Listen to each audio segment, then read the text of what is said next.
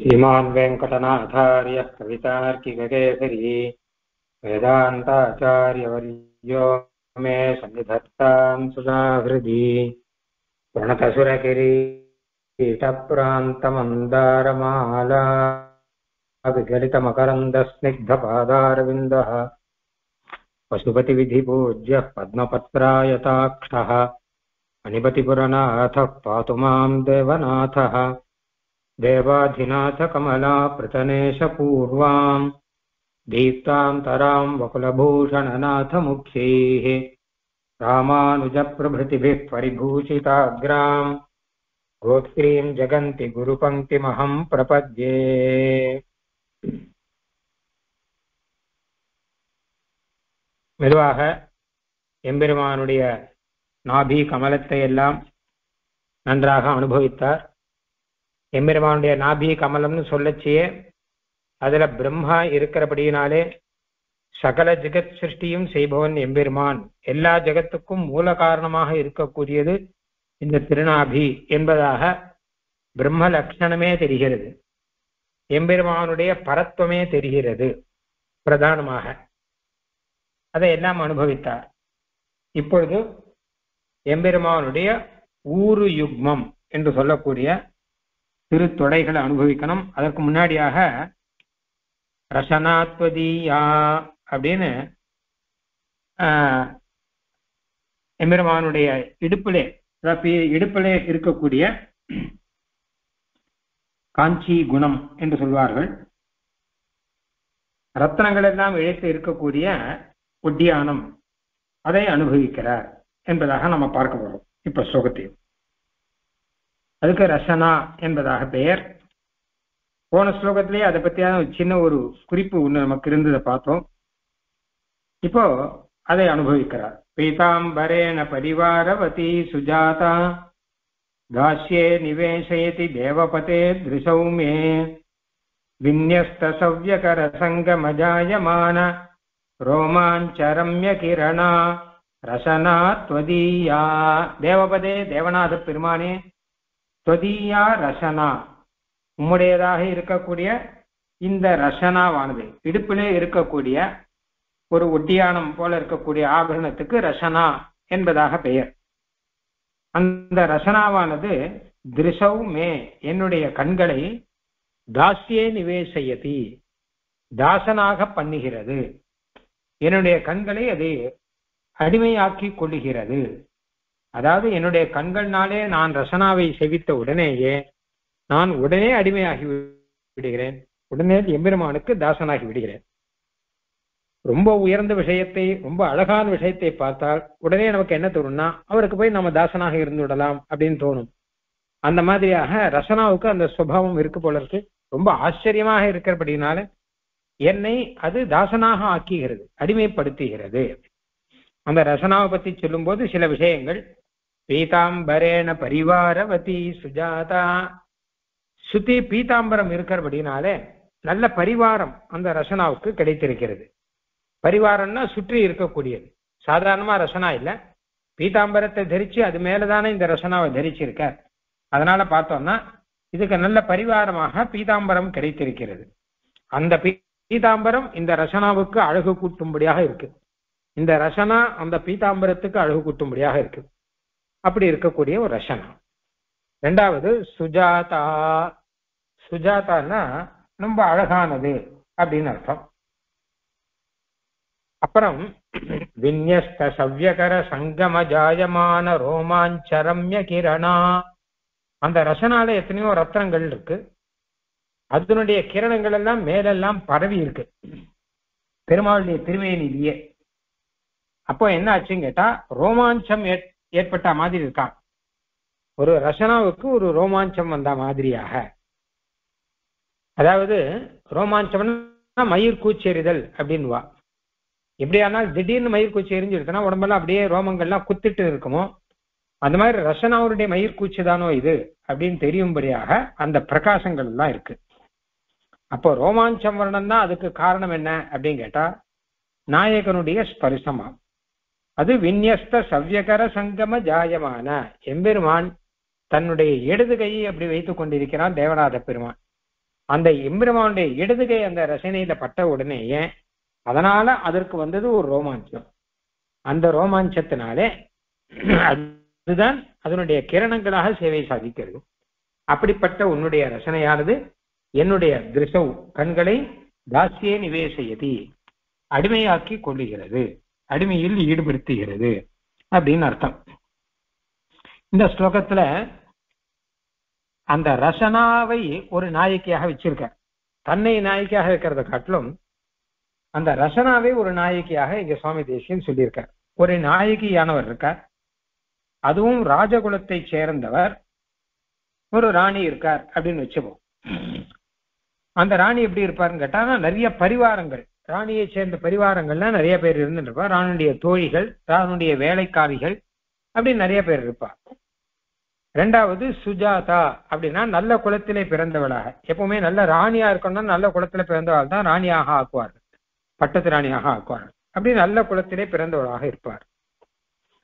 மூணாவது விநியஸ்த சவ்யகர சங்கம ஜாயமான ரோமாஞ்ச ரம்ய கிரணா அப்படின்னு அந்த நாயகிக்கு அந்த நாயகனுடைய கை பட்டாலே உடனே ரோமாஞ்சம் வந்துவிடும். ஏனால் உத்தம குலஸ்திரீயாக இருக்கிறபடியினாலேயே அவருக்கு லஜ்ஜாதி குணங்கள் எல்லாம் நிறைய இருக்கிறபடினால சவ்யகரம் அப்படின்னா இடது கையா. இந்த ரசனா இருக்கக்கூடிய இடம் எதுன்னு கேட்டானா இடையிலே தானே இருக்கு. அந்த இடையிலே தானே நாயகன் வந்து தன்னுடைய கையினாலே அணைப்பான். அப்போ அவனுடைய சவ்யகர சங்கமம் இடது கை சங்கமம் அப்படிங்கிறது வந்த உடனேயே அதனாலே உண்டானது ரோமாஞ்சம் அப்படின்னு மயிர்கூச்சி எரிந்து அவர் ஒரு பக்கம் வெட்கத்துடனும் இன்னொரு பக்கம் ஆனந்தத்துடனும் இருப்பாராம். அப்படி இந்த ரசனாவானது இருக்கிறது. ஒரு நாயகியாக ரசனா இருக்கிறது. அதுக்கப்புறம் அந்த ராணி என்ன பண்ணுவார் அப்படின்னு கேட்டா நாயகன் வந்து விட்டா நாயகன் பின்பக்கமா வரான்னு வச்சுப்போம். வந்து இவளுடைய இடையை இருக்க அணைத்துக் கொள்கிறான். அப்போ அதனாலேயே இவளுக்கு ரோமாஞ்சம் வந்து விடுகிறது. உடனே அடுத்த க்ஷணம் இவள் என்ன பண்ணுவாள் அப்படின்னு கேட்டா அங்க பக்கத்துல இருக்கக்கூடிய வேலைக்காரிகள்லாம் யார் யார் இருக்காளோ அவள் எல்லாம் மெதுவா ஒரு வேலையை சொல்லி அந்த இடத்த விட்டு அனுப்பிச்சு நீ போய் நான் சொன்னனே அந்த காரியத்தை பண்ணு அப்படின்னு சொல்லி அவளை அனுப்பிச்சு விடுவாள் அந்த மாதிரி இந்த ரசனாவானது என்னை தாசியே நிவேசயதி என்னுடைய கண்களை மே திருஷவ் என்னுடைய கண்களை தாசியே நிவேசயதி வேலையில் ஈடுபடுத்துகிறது. இந்த வேலையை செய் அந்த வேலையை செய் அப்படின்னு அதிலே ஈடுபடுத்துகிறது. அதாவது தேசியனுடைய அனுபவம் என்னன்னு கேட்டா என்னுடைய கண்ணாலே நான் உன்னுடைய ரசனையை செவிக்கும் போது அந்த ரசனையில இருக்கக்கூடிய அந்த அனுபவத்தை பெற்றபடினாலே நான் மெதுவாக அந்த இடத்தை விட்டு வெளியே வந்துவிட வேண்டும் என்பதாக தோன்றுகிறது. அப்படின்னு ஒரு விதமா சாதிக்கிறார். அதாவது என்ன கேட்டா இவருடைய நாயிகா பாவத்தை காட்டிலும் ரசனாவனுடைய நாயிகா பாவம் இதுல பிரகாசமாக இருக்கு. இப்படி நாயிகா பாவத்தை அனுபவிப்பார்களா அப்படின்னா இந்த நாயக்கன்கள்ல பலவிதம் உண்டு. அதுல சில நாயக்கர்கள் அதாவது ராஜகுலத்திலே பிறந்த நல்ல ராஜகுமாரன் முதலான சில நாயக்கர்கள் அவர்களுக்கெல்லாம் தட்சிணகா அப்படின்னு ஒரு பேர் உண்டு. அதாவது அவர்களுக்கு ரெண்டு மூணு நாயிகைகள்லாம் இருப்பா.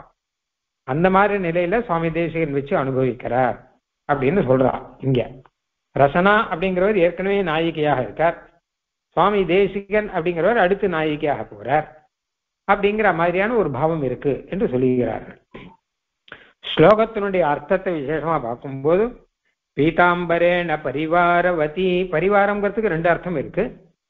அதாவது அந்த நாயிகா அரசனாங்கிறவன் நாயிகான்னு வச்சுப்போம். நாயிகாக்கு பரிவாரங்கள்லாம் தோழிகள் வேலைக்காரிகள்லாம் இருப்பா. அப்புறம் இந்த ரசனாவுக்கு பரிவாரம்னா சுற்றி இருக்கு அப்படின்னு அர்த்தம். வேற ஒன்றும் இல்லை. அந்த ரசனாவை சுற்றி அந்த பீதாம்பரம் அப்படின்னு இருக்கிறபடினால பீதாம்பரேன பரிவாரவதி அப்படின்னு. சுஜாதாங்கிறதுக்கும் ரெண்டு அர்த்தம். சுஜாதானா அழகானவள் அப்படின்னு அர்த்தம். இது அந்த ரஷனாவுக்கு பொருந்தும்.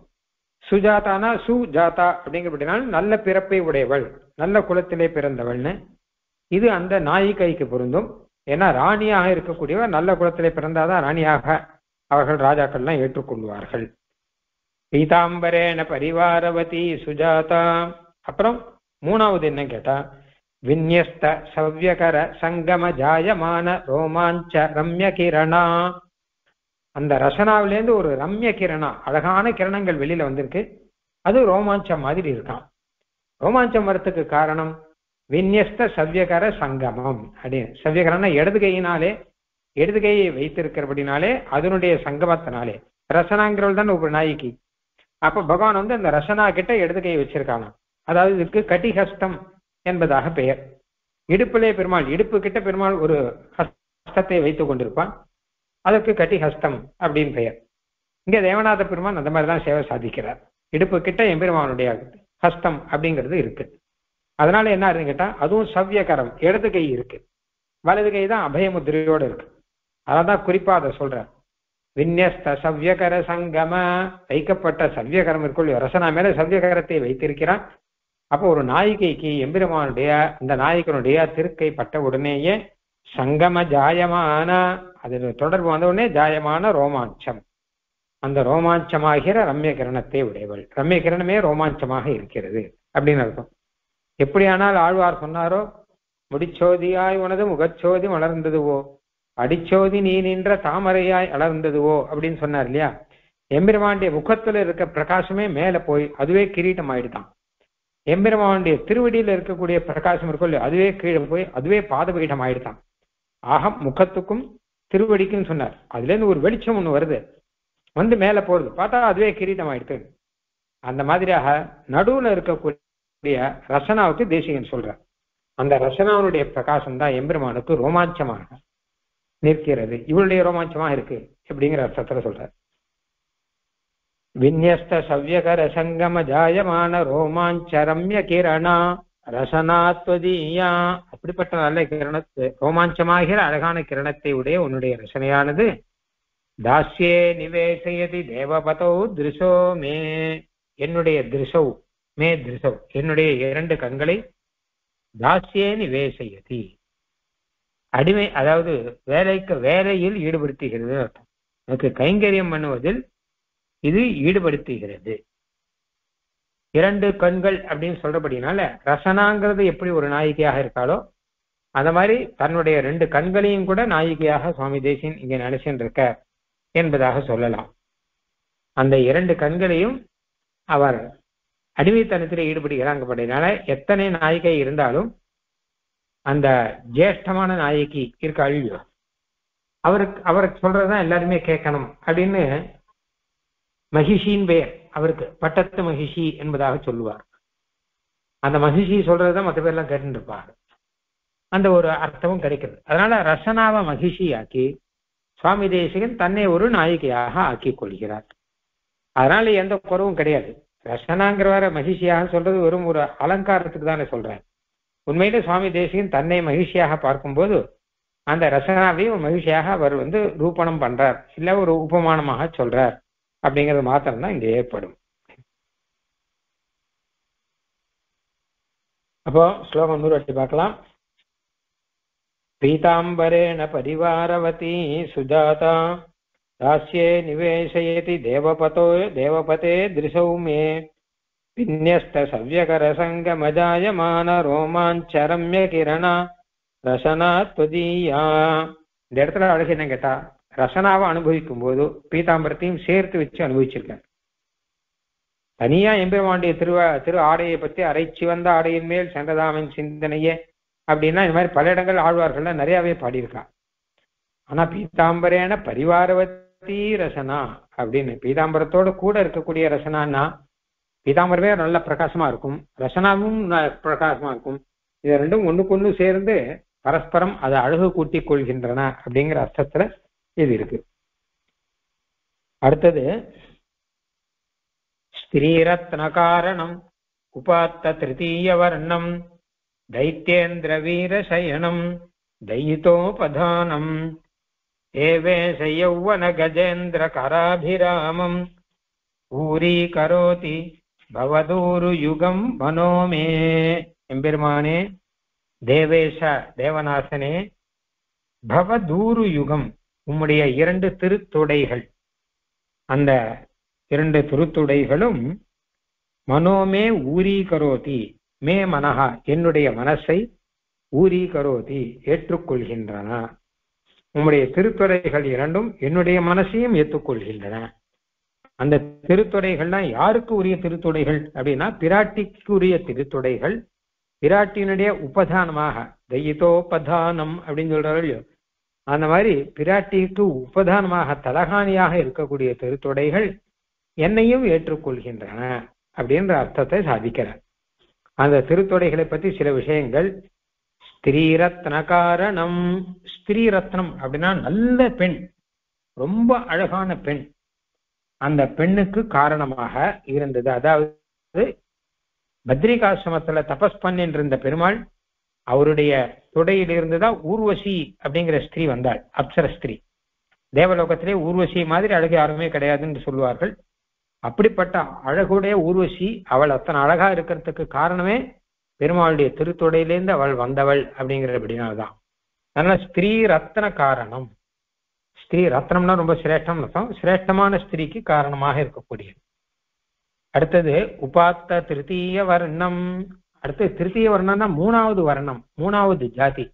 பிராமண கஷத்திரிய வைசிய அப்படின்னு சொல்லச்ச மூணாவது ஜாதியான வைசிய ஜாதியை உண்டாக்கினது. திருத்தொடையிலிருந்து தான் வைசிய ஜாதி உண்டானது அப்படின்னு வேதம் சொல்லுது.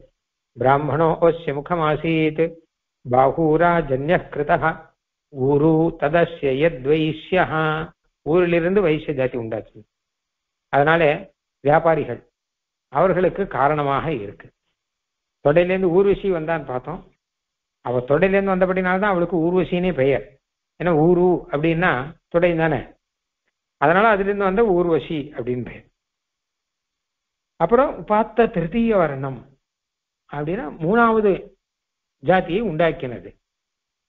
தைத்தியேந்திர வீரசயனம் அடுத்த விஷயம் தைத்தியேந்திர அசுரேந்திரன் இருக்கானே அவனுக்கு வீரசயன இடமா வீரத்தோட அவ படுத்துந்து இருக்கக்கூடிய இடம் தான் வீரசயன இடம். அதாவது கடைசி காலத்துல அவ படுத்து போகலையோ படுத்துக்கச்ச யாரு? ராஜாக்கள்லாம் அவளை யுத்த பூமியில அடிபட்டு படுத்து அந்த மாதிரிலாம் விடுறது இல்லையோ? அதெல்லாம் தான் வீரசேனம் அப்படின்னு பெயர் இங்க தைத்தியேந்திரன்னா அசுரகுலத்துக்கு இந்திரனான இருக்கவனுக்கு வீர சயனமாக இந்த தொடையே இருக்கான். ஏன்னா ஒரு உதாரணம் ஹிரண்யகசிபு ஹிரண்யகசிபு மடியில் தானே போட்டுன்னு இருக்கார் அப்ப தைத்தியேந்திர வீரசயனம் அப்படிங்கிறது நரசிம்ம பெருமாளுடைய மடி தான். அந்த தொடை தானே. அவனை போய் தன்னுடைய தொடையில போட்டு தானே அவனை சம்ஹாரம் பண்ற. அதனால தைத்தியேந்திரன் ஹிரண்யகசிபு ஏன்னு சொன்னா கேட்டா உண்மையிலேயே அசுரர்களுக்குள்ளேயே சிரேஷ்டம் ஹிரண்யகசிவு தான். அது ஒன்றும் சந்தேகமே கிடையாது. ஏன்னா அப்படிப்பட்ட வரமெல்லாம் வாங்கி வச்சிருக்கான். அவனுடைய வீரசயனம் அவன் வீரசயனம் பண்ற இடமாக அது இருந்தான் பீஷ்வர் வந்து எப்படி ஆனாலும் அம்பு படுக்கையில படுத்திருந்தாரோ அந்த மாதிரி அந்த ஹிரண்யகசுவ பாரம் தன் தொடையில போட்டுட்டார் பெருமாள். அப்படின்னா அவனுக்கு அவனை பிளக்கிறார். இல்லாட்டா தைத்தியேந்திரன் அப்படின்னா மது கைட்டபான்னு கூட அர்த்தம் சொல்லுவான். மது கைட்டபன் ரெண்டு பேர் இருந்தா ஆதி காலத்து தைத்தியர்கள் இவர்கள்லாம் ஒரு விதத்துல முதல் தைத்தியர்கள் இவர்கள் தான் அசுரர்கள்னா முதல்ல அசுரர்கள் தான் இவா வேதத்தை அபகரிச்சுன்னு போக பிரம்மா வந்து அது பிரம்மா வந்து பெருமாள் கிட்ட பிரார்த்திக்க பெருமாள் வந்து வேதத்தை மீட்டு கொடுத்தார். ஹைகிரீவ அவதாரங்கள்லாம் எடுத்தார்.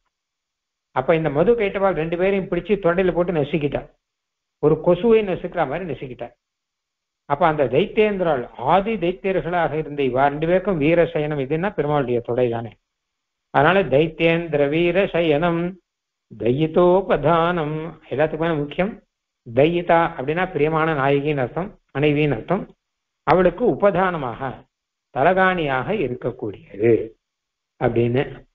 அதாவது பெரிய விராட்டியார் ஸ்ரீதேவி நாச்சியார் பூதேவி நாச்சியார் இவர்கள்லாம் எம்பெருமாண்டிய திருத்தொடையில தலை வைத்து உறங்குவார்களாம். அதனால தைதோபதானம் அப்புறம் தேவேஷ யௌவன கஜேந்திர கராபிராமம் கஜேந்திரன் யானை ஐராவதம் அப்படின்னு ஒரு யானை. அது வெள்ளையா இருக்கும். அந்த யானையினுடைய தும்பிக்கை எப்படியோ அந்த மாதிரி அழகா இருக்கான் இந்த திருத்தொடை அப்படிங்கிறது.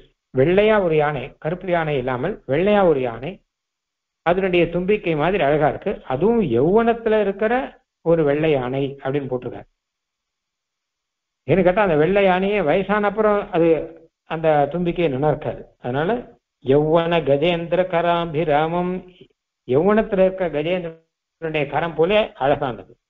அப்படிப்பட்ட பவதூரி யுகம் உன்னுடைய திருத்துறையானது மே மனஹா என் மனசை ஊரீகரோதி ஏற்றுக்கொள்கிறது அப்படின்னு பிராட்டியா இருக்க மாதிரி நானும் உன்னுடைய தொடையிலே தலை வைத்து தூங்கும்படியாக எனக்கு அனுமதி அளிக்கிறது அப்படின்னு சாதிக்கிறார். இங்கேயும் எம்பெருமானுடைய திருத்தொடையை பத்தி நிறைய விஷயம். இங்கே பல இடத்துல புராணத்துல சொன்ன விஷயம் வேதத்துல சொன்ன விஷயம் எல்லாமே ஸ்லோகத்துல வருதுங்கிறத நம்ம பார்த்துட்டு இருக்கோம் ஆழ்வார் பாட்டில் இருக்கிறது கூட ஸ்லோகத்துல வந்துட்டு இருக்கு இப்போ முதல் விஷயம் ஸ்திரீ இரத்தன காரணம் அப்படிங்கிறது புராணங்கள்ல இருக்கு. அதாவது உர்வசி அப்படின்னு ஒருத்தி எம்பெருமானுடைய தொடையிலேருந்து வந்தாள். பத்ரிகாசிரம பெருமாள் அங்கே தபஸ் பண்ணிட்டு இருந்தார். நரநாராயண அவதாரம் எடுத்தார். தபஸ் பண்ணிட்டு இருக்கார்.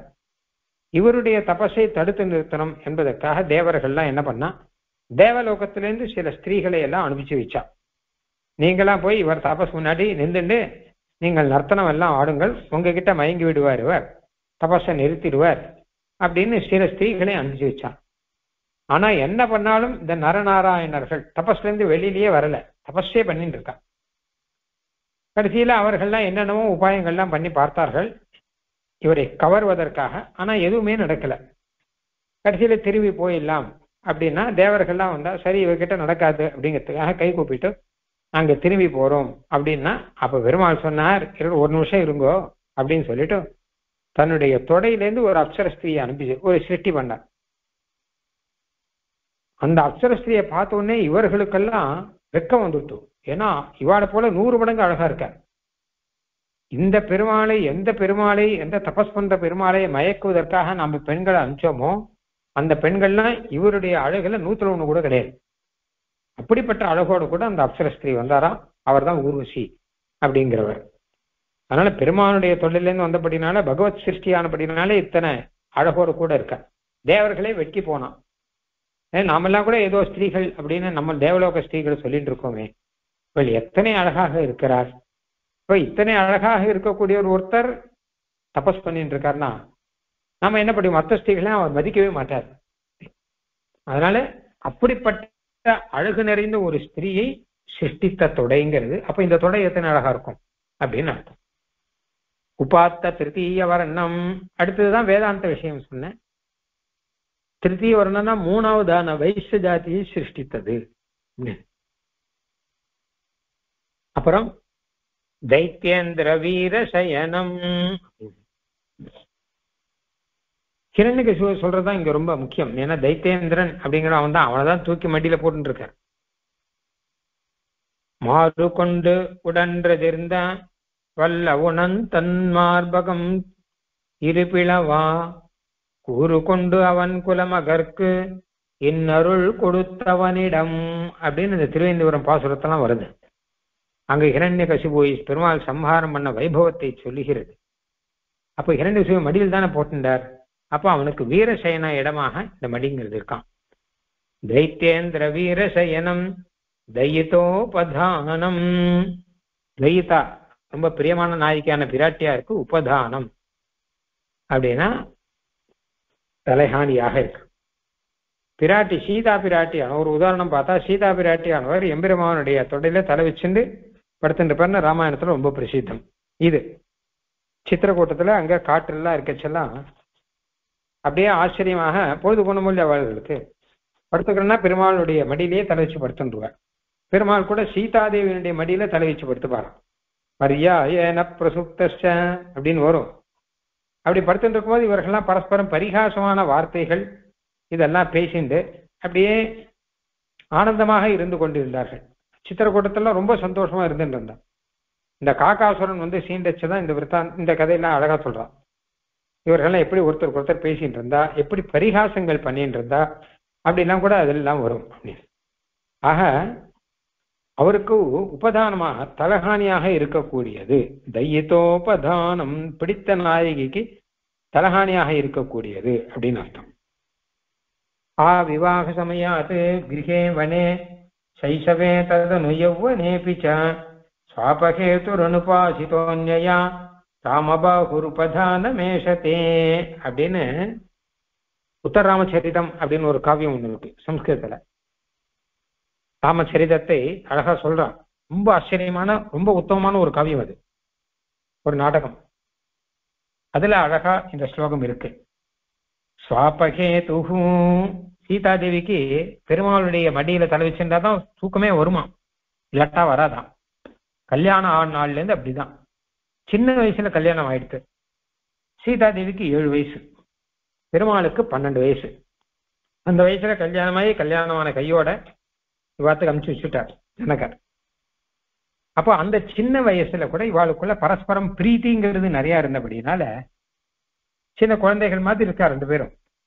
அந்த சமயத்துல கூட அந்த பெருமாளுடைய மடியில தலை வச்சு படுத்திருந்தாதான் அந்த சீதாதேவிங்கிற ஏழு வயசு பெண் ஏழு வயசு குழந்தைக்கு இவர் ரொம்ப பிடிச்சிருந்தபடியினால இவர் மடியில தலை வச்சுண்டு படுத்துக்கு படுத்துட்டு இருக்குமா அந்த குழந்தை அப்படி ஆ गृहे वने கிரகேவனே சைசவே ததனு யௌவனே பிச்ச.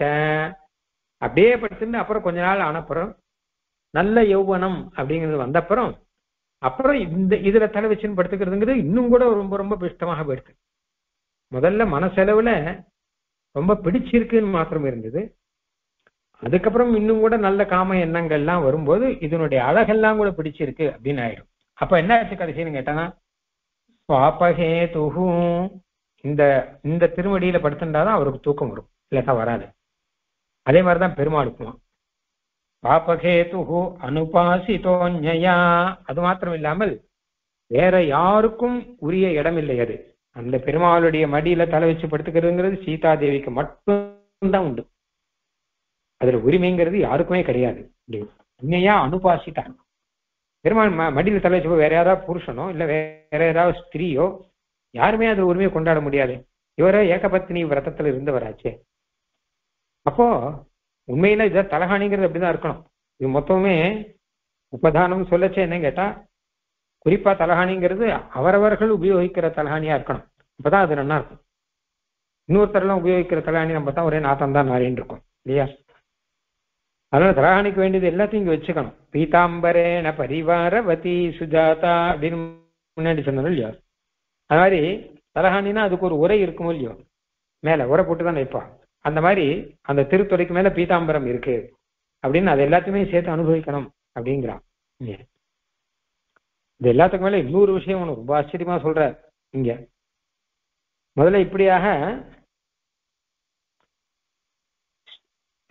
தைத்தேந்திர வீர சயனம் தயிதோபதானம் இவருக்கு ஸ்ரீ பூமியா நீ ஸ்ரீ பூமி நீலா நாயிகைகள் அந்த நாயிகைகளுக்கு உபதானமாக இருக்கக்கூடியது சௌமாஸ்லிஷ்டம் கிமபி கமலா பூமி நீலோபதானம் நெஞ்சத் காஞ்சி கிரண ருச்சிரம் நிர்விசத்யூர் யுக்மம் அப்படின்னு அங்கேயும் இதே பாவத்தை சொல்ற பகவத் தியான சோபானத்தில்.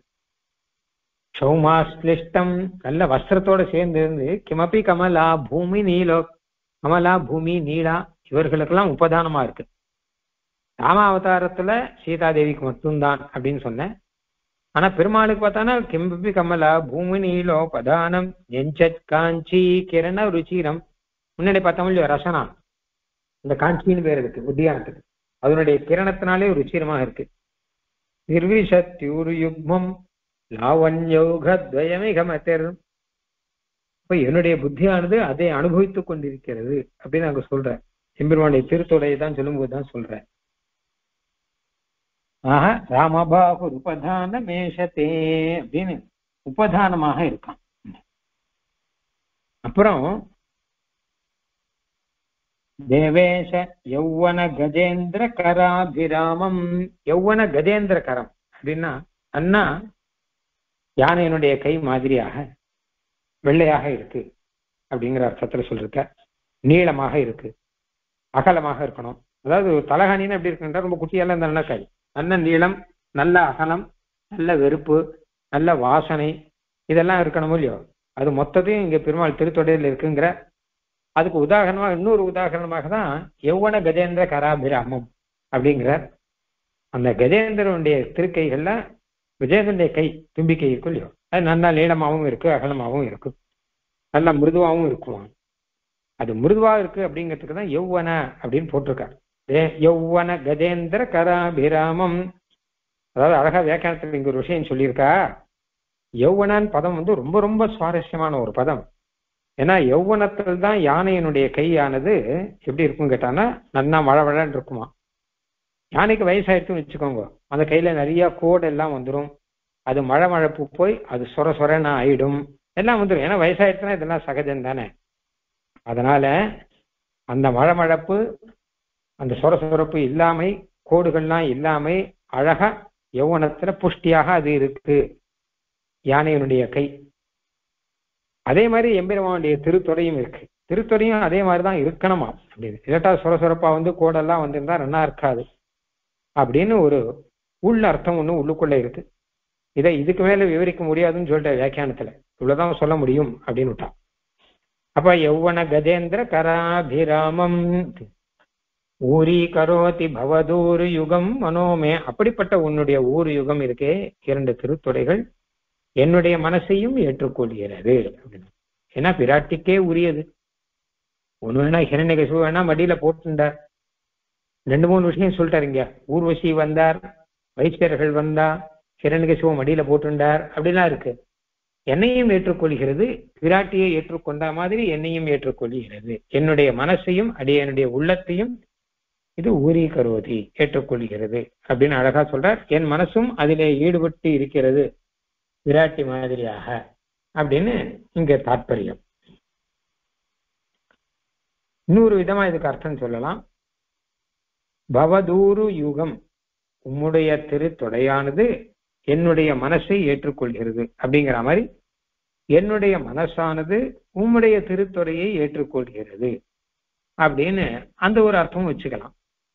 அப்ப என்ன கேட்டா என் மனசுல ரொம்ப நாளா ஒரு ஆசை அந்த எம்பெருமானுடைய திருத்தொடையில் தலை சாய்த்து நாம் படுத்துக்க வேணும் அப்படின்னு ஒரு ஆசை. ஒரு சின்ன நாயகிக்கு அந்த மாதிரி ஒரு ஆசை இருக்கலாம் இல்லையோ அந்த மாதிரி என் மனசுக்கு அந்த ஒரு ஆசை இருக்கு. அதனால உங்க உப உபதானமாக தலகாணியாக என் மனசும் ஏற்றுக்கொள்கிறது அப்படின்னு அர்த்தம். ஸ்திரீரத்தன காரணம் உபாத்த திருத்தீய வர்ணம் தைத்தேந்திர வீர சயனம் தையிதோபதானம் தேவேச யௌவன கஜேந்திர கராபிராமம் ऊरीकरोति भवदूरुयुगं யுகம் மனோமே. இங்க மனோமே என்னுடைய மனசானது அப்படின்னு சொல்லிருக்க. பொதுவா மனிஷா அப்படின்னு தான் போடுவார். ஏன்னா நாயிகா பாவத்தில் இருக்கு அப்படின்னால ஸ்ரீலிங்கத்தை போட்டுருவார் மனசுன்னு போடாமல் ஸ்ரீலிங்கத்துல தான் ஏதாவது ஒண்ணு போடுவார். ஆனா இந்த இடத்துல மாத்திரம் மனஹா அப்படின்னு போட்டிருக்கார். மனஹானா அது ஸ்ரீலிங்கத்துல இல்ல. தன்னை ஒரு நாய்க்காக சொல்லிக்கும் போது அந்த ஸ்ரீலிங்க சப்தத்தை தான் போடுவார் சுவாமி. இங்கேயே மனஹான் போட்டிருக்காரு அப்படின்னு கேட்டாங்கன்னா இதுக்கு ஒரு ஸ்லோகம் ஒன்று சொல்றா அழகா. நபுன்சகம் இத்தி ஜாத்வா பிரியாயை பிரேஷிதம் மனஹா தத்து தத்திரை வரமதே ஹதா பாண்டினா வயம். மனசு பார்க்கறதுக்கு தான் நபுன்சகமா இருக்கே தவிர ஸ்ரீலிங்கம் இல்லைன்னு சொல்றதே தவிர மனசு நாயக்கன் கிட்ட ஈடுபட்டாச்சுன்னா அதுக்கப்புறம் திரும்பி வர மாட்டேங்கிறது அது அது மாதிரி நாயகி கிட்ட ஈடுபாச்சா மனசு திரும்பி வரல. அப்ப அது வெறும் இதுன்னு சொல்ல முடியாது. அவுன்சகம் சொல்லிட முடியாது மனசை. இதுக்கு போய் புள்ளிங்கம் என்ன ஸ்ரீலிங்கம் என்ன ஒன்றும் கிடையாது. மனசு தானே சொல்ல முடியாது. மனசுங்கிறது இந்த இப்போ நாயிக்கா பாவத்தை சொல்லும்போது இந்த மனசுங்கிறது அது நாயிக்கை மாதிரி. ஏன்னா நாயக்கின் கிட்ட போனா அது திரும்பி வராமல் இருக்கிறது அப்படிங்கிற அர்த்தத்துல சொல்றேன். எப்படி ஆனால் அந்த சிறிய திருமடல் இருக்கும் இல்லையோ? அந்த சிறிய திருமடல்ல அழகா ஒன்று சொல்ற திருத்துழாய் தாரான் தருமென்று இரண்டத்தில் ஒன்றதனை எம்பெருமான் தன்னுடைய திருத்துழாயை தருவானா தரமாட்டானா?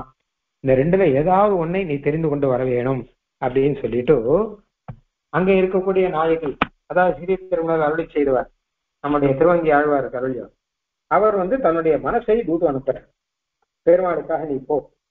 அங்க போய் அவன் அனுகிரம் பண்ணுவானா? அவன் அனுகிரம் பண்ணுவானாங்கிறத அவன் வந்து தன்னுடைய திருத்துழாயை தருவானா?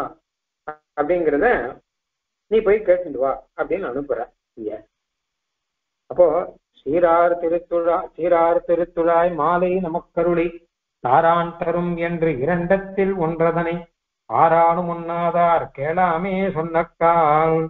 ஆராயு மேலும் பணி கேட்டு அதன் போர்த்தாதொழியாதே போர்த்தாதுழியாதே போந்துடினி என்றேற்கு. மனசை அனுப்புற ஆறார் கடல் வண்ணன் பின்போன நெஞ்சமும். மனசே நீ போய் பெருமாள் கிட்ட போய் நீ இந்த நாயகியை ஏற்றுக்கொள்கிறாயா? அவன் அனுகிரகம் பண்ணுகிறாயா? திருத்துழாய் மாலை பிரசாதமாக தெரிகிறாயான்னு கேட்டுனுவான்னு அனுப்பிச்சாராம். ஆனா அந்த மனசு என்னாச்சு? நீ வராம திரும்பி வந்துருங்கிறான். போந்துட்டு நீ போயிட்டு பெருமாள் கிட்ட கேட்டுன்னு வாங்குறான். அண்ணா வாராதே என்னை மறந்ததுதான். அந்த மனசு வரல. என்னை மறந்துருச்சு அது பெருமாள் கிட்ட ஈடுபட்டு விட்டது. அது என்னை மறந்து விட்டது அப்படின்னு நாய்க்கு சொல்றார். அந்த மாதிரியாக இந்த மனசும் இந்த எம்பெருமானுடைய திருத்தொடையில ஈடுபட்டதுங்கிறத காமிக்கிறதுக்காக இது சொல்றார் அந்த பாசுரத்தை மனசுல வச்சுட்டு தான் சுவாமி தேசியன் இங்க தன் மனசை இப்படி சொன்னார் என்பதாக சொல்வார்கள். அடுத்த ஸ்லோகம். லாவண்யபூர லலிதோர்த்வ பரிபிரமாபம் லக்ஷ்மீ விகார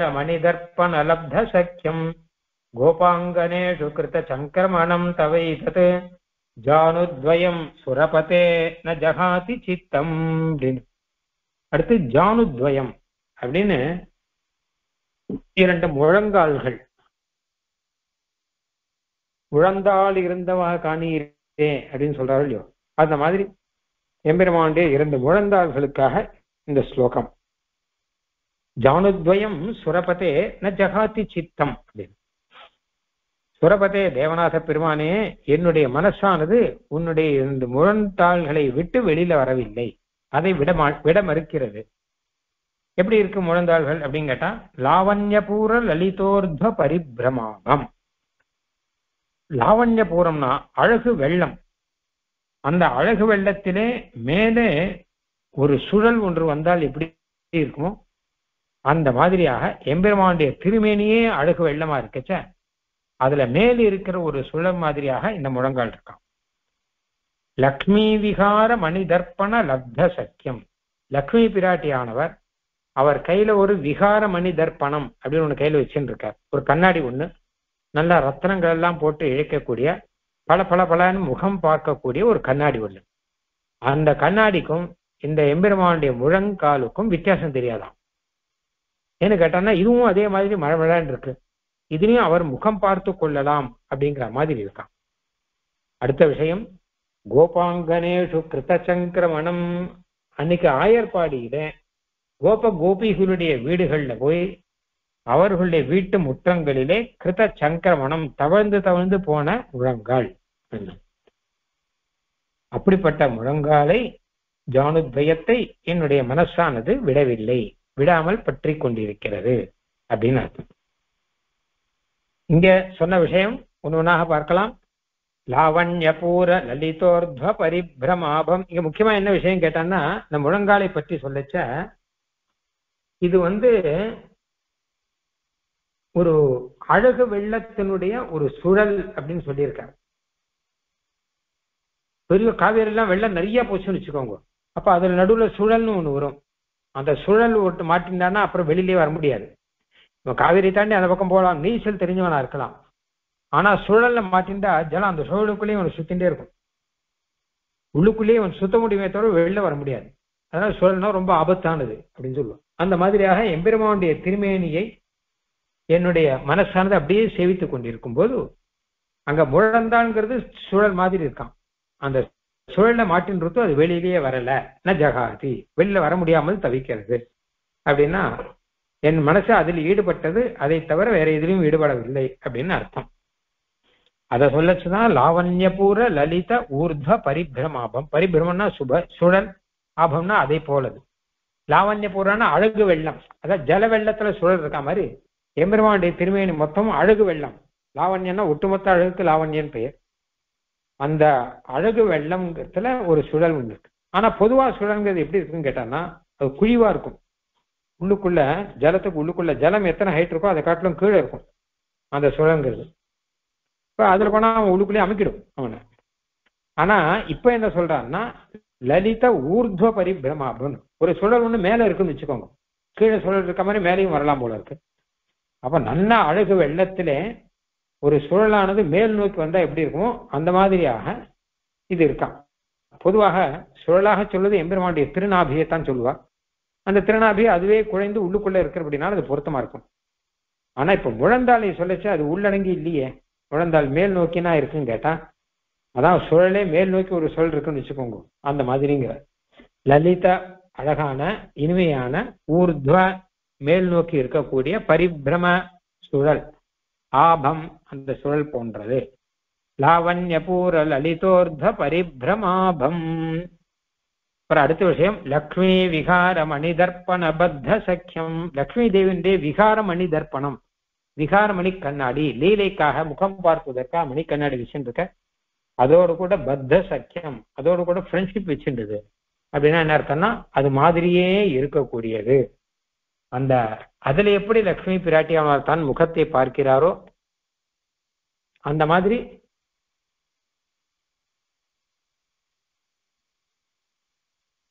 பிராட்டியானவர் தன்னுடைய முகத்தை பார்த்து கொள்ளலாமா அந்த மாதிரி அழகாக இருக்கு அப்படிங்கிறதாக அர்த்தம். எப்படியானா இந்த குருட பஞ்சாசத்துல சொல்றாரு எதிர்க்க கருத்மான் இருக்கார் இல்லையோ அவர் தன்னுடைய முகத்தை இதுல பார்க்கிறாராம். சாயாம் தத்தே எதி யாம் ஹிருதி ஹரி ஹிருதயா ரோகதன்யோ மணீந்திரா அங்க மணீந்திரஹான்னு சொல்றார். இவருடைய கௌஸ்துவ மணியில கருத்வான் முகம் பார்த்து பாடம் அந்த மாதிரியாக இந்த மீனாவுடைய முழந்தாள்ல இவர் முகம் பார்த்துக்கலாம் வேணும்னா. அப்படின்னும் போது உள்ளுக்குள்ள அந்த ஒரு அதனால்தான் விகாரன் போட்டிருக்காரு. இதெல்லாம் ஒரு வேடிக்கை. இதெல்லாம் ஒரு உல்லாசம். இதெல்லாம் ஒரு லீலை. லக்ஷ்மி விகார மணிதர்ப்பண லப்த சக்கியம். கோபாங்கனேஷு மூணாவது விஷயம் தான் நமக்கு வேண்டிய விஷயம். கோபாங்கனேஷு கிருத சங்கிரமணம் ஆயர்பாடியில கோபர்களுடைய முற்றங்களிலே கிருத்த சங்கிரமணம் சங்கிரமணம்னா தவிழுதல்னு அர்த்தம். தவிழுதலை செய்தது அப்படின்னு. அதாவது எம்பெருமானானவன் லக்ஷ்மி விகார மணிதர்ப்பண பத்த சக்கியமாக அவ்வளோ அப்படிப்பட்ட உயர்ந்த திருவடி திரு முழந்தாள்களை உடையவன். அந்த ஒரு முழந்தாள் தான் ஆயர் குலத்துல எல்லாருக்குமாக தவிர்த்து ஒவ்வொரு அதாவது கோபாங்கனேஷு அப்படின்னு போட்டிருக்கிறேன் ஒவ்வொரு முற்றத்திலுமே. பொதுவா குழந்தைகள்லாம் தவிழும் அவ்வாத்து முற்றத்தில் அது தவிழும். அவ்வளவுதானே? ஆனா இந்த குழந்தை என்னைக்கு தவிழ ஆரம்பிச்சதோ அன்னிலேருந்தே எல்லா இடத்துக்கும் போக ஆரம்பிச்சு நடந்து போறதுங்கிறதுல தவிழ ஆரம்பிக்கச்சே கிடுக்கிறன்னு அவாத்துக்கெல்லாம் போய் அங்க போய் அந்த முற்றத்துல போய் அங்கே சுத்தி சுத்தி சுத்தி எல்லாம் தவிழ்ந்து அவளுக்கு எத்தனையோ வேடிக்கை எல்லாம் காமித்து எல்லாத்தையும் பண்ணிட்டு இருக்கும்போது அப்போ அந்த எம்பெருமானுடைய அந்த சௌலபியம் அந்த சௌலபியத்தையும் சேர்த்து வச்சு இந்த பாசுரத்துல சொல்லணும் அப்படிங்கிறதுக்காக சொல்றார் இங்க. கோபாங்கனேஷு கிருத சங்கிரமணம். திருமாலை பொறுத்தவரை லக்ஷ்மி பிராட்டியாருக்கு என்ன அனுகிரகம் பண்றாரோ அதே மாதிரியாக அன்னைக்கு ஆயிரகுல பெண்களுக்கும் அனுகிரகம் பண்ணியிருக்கான் ஆக அதையும் சேர்த்து இதையும் சேர்த்து சுவாமி தேசியன் ஏதோ ஒரு விஷயம் சொல்றார் என்பதாக நமக்கு தெரிகிறது.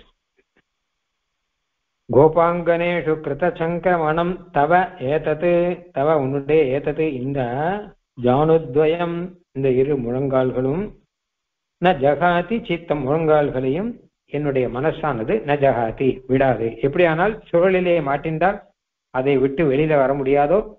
அந்த மாதிரி இந்த சூழலிலே மாட்டிக்கொண்டு இதை விட்டு வெளியில வர முடியாமல் என் மனசானது தவிக்கிறது அப்படின்னு தாற்பயம் இங்கேயும் முன்ன சொன்ன மாதிரி வேற விதமாகவும் அர்த்தம் சொல்லலாம். என்னுடைய மனசு உன்னுடைய முழந்தாள்களை விடவில்லைன்னு சொல்லலாம். இல்ல உன்னுடைய முழந்தாளானது என்னுடைய மனசை விடவில்லைன்னு சொல்லலாம். ஏன்னா கோபாங்கனேஷு கிருத்த சங்கிரமணம்னு கோபர்களுடைய முற்றத்திலே போன அந்த மன அந்த முழந்தாளானபடினால என் மனசும் அப்படி அழகாக இருக்கிறதை பார்த்து இதை விடாமல் அது பற்றி கொள்கிறது அப்படிங்கிற அர்த்தமும் சொல்லலாம்.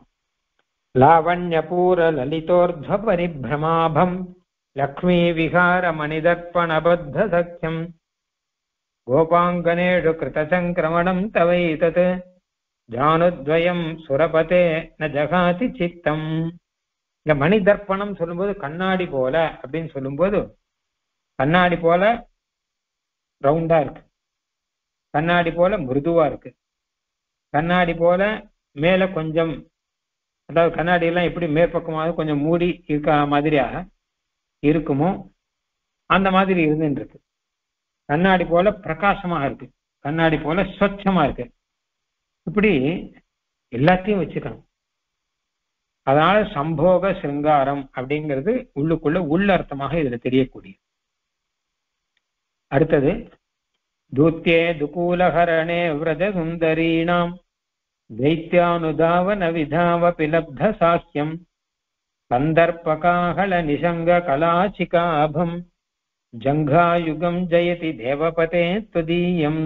தேவபதே உன்னுடைய ஜங்காயுகம் கணைக்கால்கள் அப்படின்னு சொல்றா இல்லையா? முழந்தாளுக்கு கீழே இருக்கக்கூடிய அந்த கணைக்கால் பாகங்கள். அது ஜெயதி அப்படின்னு ஆச்சரியமாக பிரகாசிக்கிறது.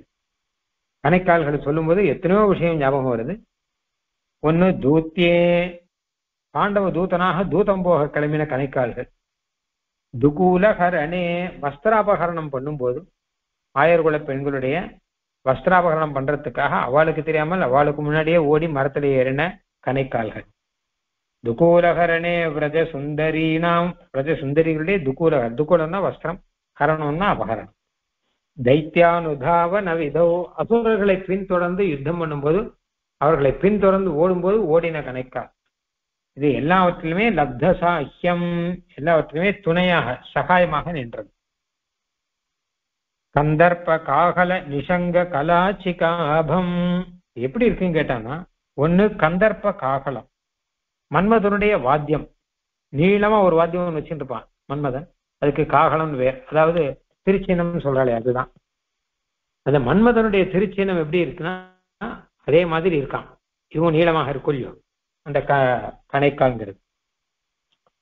அப்புறம் நிஷங்க நிஷங்கனா அம்பெல்லாம் இருக்கக்கூடிய அம்பரா துணி கலாச்சிகா அபம் கலாச்சிகா அப்படின்னா ஸ்பட்டிகம்னு ஒரு பாத்திரம்.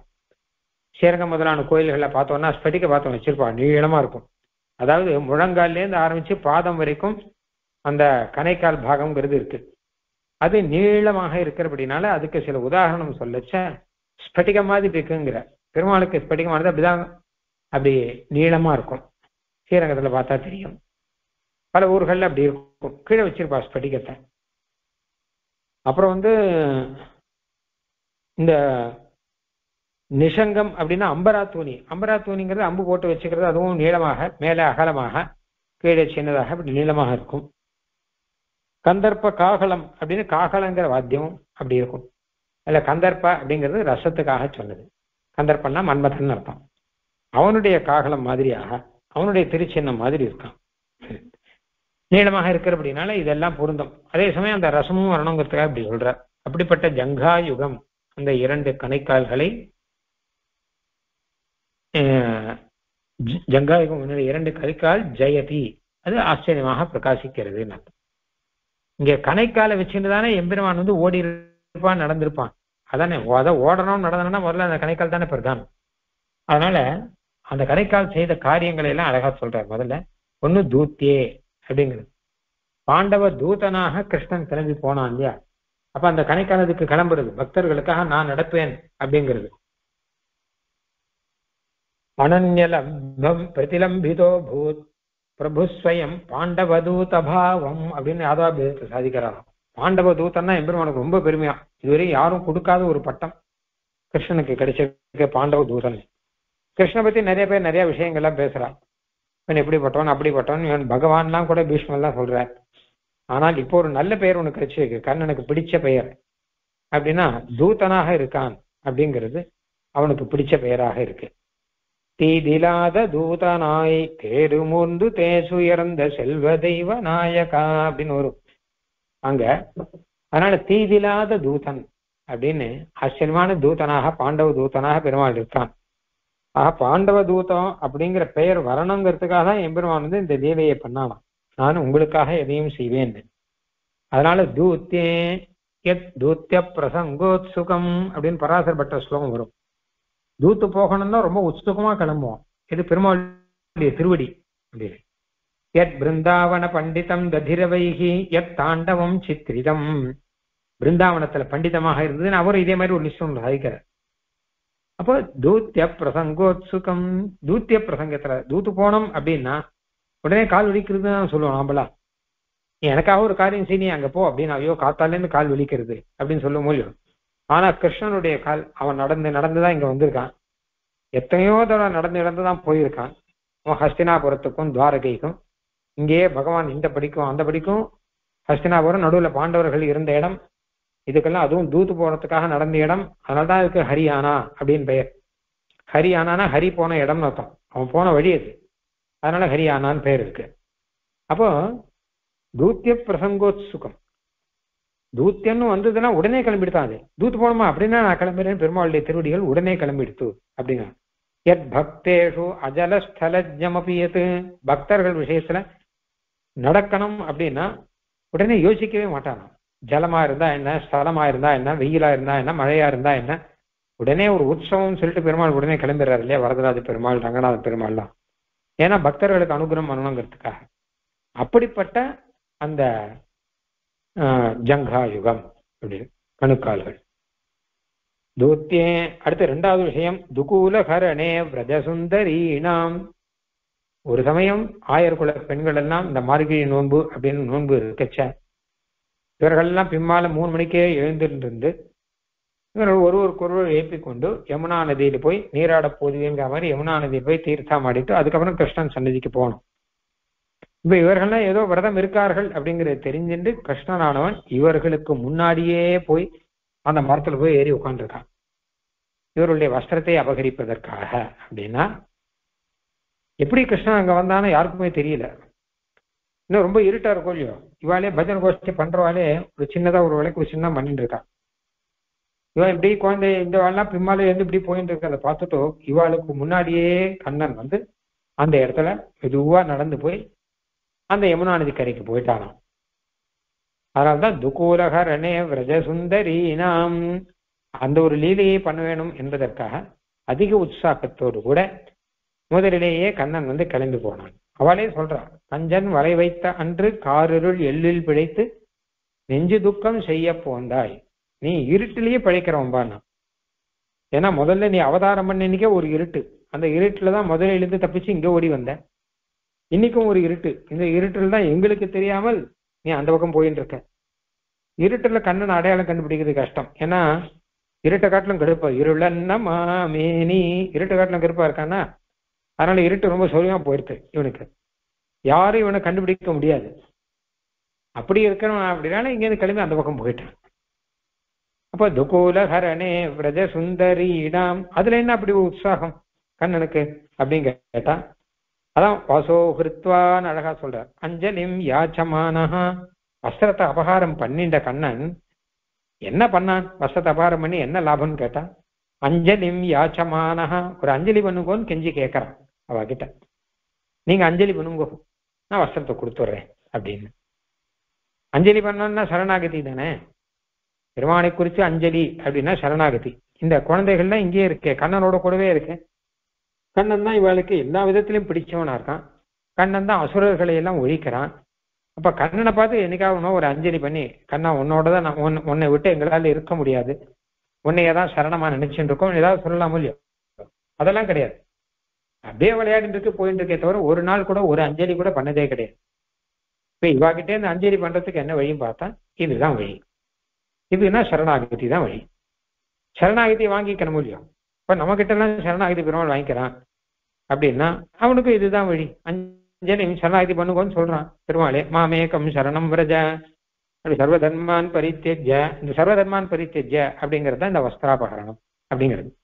மாமேகம் சரணம் விரத அப்படிங்கிறது தான் அஞ்சலிம் யாச்சமானா அப்படின்னு. அதாவது சரணாகதி பண்ணணும்னா என்ன வேணும் அப்படின்னு கேட்டா ஆக்கிஞ்சன்யம் வேணும். எதுவுமே இருக்கக்கூடாது. நம்மளை பொறுத்த வரைக்கும் நம்ம என்ன நினைச்சுட்டு இருக்கோம் அப்படின்னா நம்ம ஒரு போர்வை ஒண்ணு போத்துட்டு இருக்கோம் எல்லாருமே நீ யார் அப்படின்னு கேளுங்களேன். யாரையாவது பார்த்து நீ யார் அப்படின்னு கேட்டான்னா நம்ம என்ன சொல்லுவோம்? நம்ம படிச்ச படிப்பை சொல்லுவோம். நம்ம செய்கிற உத்தியோகத்தை சொல்லுவோம். நீ யார் அப்படின்னு கேட்டான்னா நான் ப்ரொஃபஸரா இருக்கேன். நான் டாக்டரா இருக்கேன் அப்படின்னுவோம் இல்ல இன்னும் வேற ஏதாவது ஒருத்தர் நீ யார்? அப்படின்னு கேட்டானா நான் சிஏ படிச்சிருக்கேன். நான் எம்ஏ படிச்சிருக்கேன்.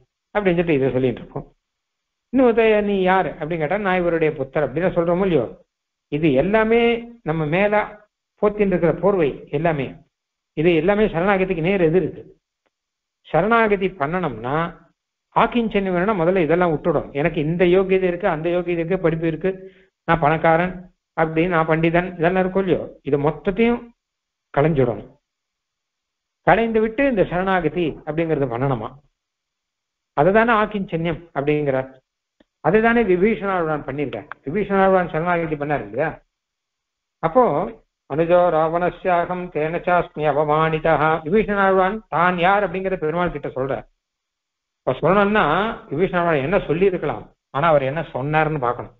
என்ன சொன்னாங்கிறதுக்கு முன்னாடி அவர் என்ன சொல்லி இருக்கணும் அப்படின்னு கேட்டா அடி அடிக்கடி சொல்ற மாதிரி இப்ப நான் விபீஷணா இருந்தேன்னு வச்சுக்கோங்க. என்ன சொல்லியிருப்பேன்னு பார்க்கணும். விபீஷன் வந்து பெருமாள் கிட்ட போறான். அப்ப பெருமாள் நீர் யாருன்னு கேட்கறேன்னு வச்சுக்கோ அப்ப என்ன தெரியாதா? நான் தானே பத்தாயிரம் வருஷம் தபஸ் பண்ணி உங்ககிட்ட விஷ்ணு பக்தி வேணும்னு கேட்டு வாங்கினேன். விபீஷன் ரொம்ப விஷ்ணு பக்தன் பிரசித்தமாச்சே. லங்கையிலேயே நான் தான் விஷ்ணு பக்தன். உமா பக்தன். என் அளவு பக்தன்னா யாருமே கிடையாது. இங்க. இந்த மாதிரி தானே சொல்லிருப்போம் ஆனா விபீஷணன் சொன்னது என்னன்னு கேட்டானா உம்ம கிட்ட அபச்சாரமே பட்டு பட்டு கொண்டிருக்கிற ராவனுடைய தம்பி நான்.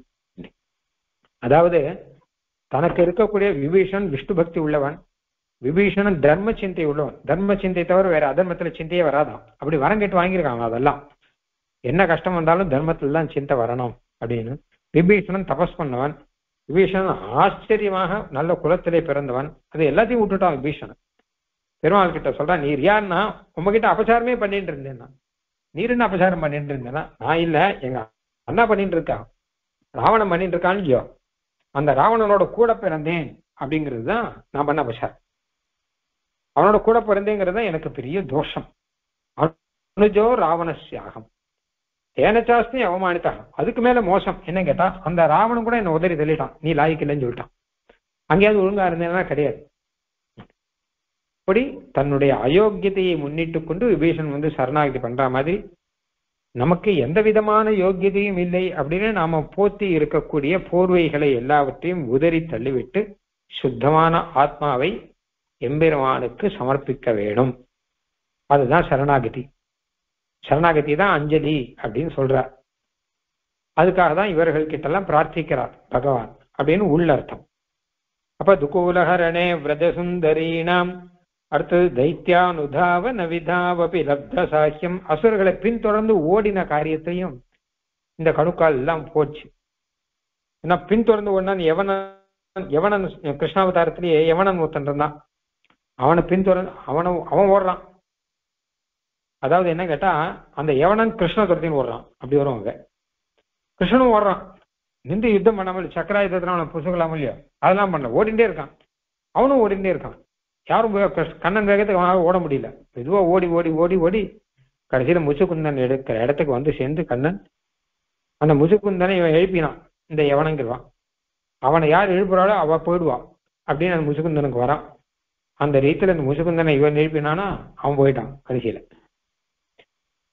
இப்படின்னு ஐதிஹ்யம் இருக்கு. இதே மாதிரி பல சமயம் தேவாசுர யுத்தத்துல பல சமயம் அசுரர்களை துரத்தி துரத்து போய் பெருமாள் அடிச்சான்னு உத்தர ராமாயணத்தெல்லாம் கூட வரும். அதனால தைத்தியானுதாவன விதாவபி லப்த சாக்கியம் எல்லா சமயக்கும் கண்ணனுக்கு துணை புரிந்தது இதுதான். கந்தர்ப்ப காகல நிச்சங்க கலாசிகாபம். மன்மதனுடைய காகலம் திருச்சி இந்த மாதிரி இருக்கு பாக்குறதுக்கு. தூணி அம்பரா தூணி மாதிரியாக இருக்கிறது அப்படின்னு. அப்புறம் கலாச்சிக்கான ஸ்படிக பாத்திரம் மாதிரி இருக்கு. இப்படிப்பட்ட உங்களுடைய ஜங்கா யுகமானது ஜெயதி. இது ஜெயிக்கிறது. அப்படின்னு அதுக்கு பல்லாண்டு பாடும்படியாக இந்த ஸ்லோகம். இங்கே நிறைய உதாரணம் கொடுத்துருக்க கந்தர்ப்ப காகலம் நிசங்கம் கலாச்சிகா அப்படின்னு ரெண்டு மூணு உபமானங்கள்லாம் கொடுத்துருக்க ஏன் இந்த ரெண்டு மூணு உபமானங்கள்லாம் கொடுத்துருக்காரு அப்படின்னு கேட்டா ஒன்னு இருந்தா கூட இன்னும் ரெண்டு மூணு இருந்தா இன்னும் அழகா இருக்குமே அப்படின்னு அந்த ஸ்ரீ வராக சர்ம ஸ்லோகத்தை சுவாமி தேசியன் வியாக்கியானிக்கும் போது அழகா ஒரு விஷயம் சாதிக்கிறார் காஷ்ட பாஷாண சன்னிபம் சொல்லச்ச காஷ்டம் போல பாஷாணம் போலன்னு ரெண்டு ஏன் சொன்னார் அப்படின்னா ஆனாலும் ஒரு திருஷ்டாந்தமே அமையாதோ எண்ணில் சாதர்மியத்தில் அதிசயம் தோற்றுகைக்காக பல திருஷ்டாந்தம் சொல்ல கடவுது என்று ஆலங்காரிகர் சொன்னார்கள். அலங்கார சாஸ்திரம் சாஸ்திரம். அந்த சாஸ்திரத்துல அழகா சொல்லியிருக்கான் ரெண்டு மூணு திருஷ்டாந்தம் சொன்னா ரொம்ப நல்லா இருக்கும்னுட்டான் அவ ஒரு உதாரணம் மாத்திரம் இல்லாமல் ரெண்டு மூணு சொன்னா நல்லா இருக்கும் அப்படின்னா. அதனால அந்த மாதிரி ரீதியில ரெண்டு மூணு சொல்றாராம். இங்க. அந்த உதாரணங்கள்லாம் சொன்னாதான் நமக்கு நல்லா புரியும் அப்படிங்கிறதுக்காக. ஜங்கா யுகம் ஜெகதி தேவபதே தொதீயம் அப்படின்னு. இந்த இடத்துல தூத்தியே துகூலகரணே பிரஜசுந்தரீனாம் தைத்தியானுதாவன விதோன்னு பார்க்கும்போது எத்தனையோ விஷயம் இருக்கு. அதாவது தூத்தியே அப்படின்னா தர்மத்துக்காக தூத்து போனவன் துகூலஹரணே விரதசுந்தரீனாம் அப்படிங்கிறது காமத்துக்காக செய்தவன். தைத்தியானுதாவன விதோ அப்படின்னு சத்ரு நிகிரகத்துக்காக பண்ணவன்.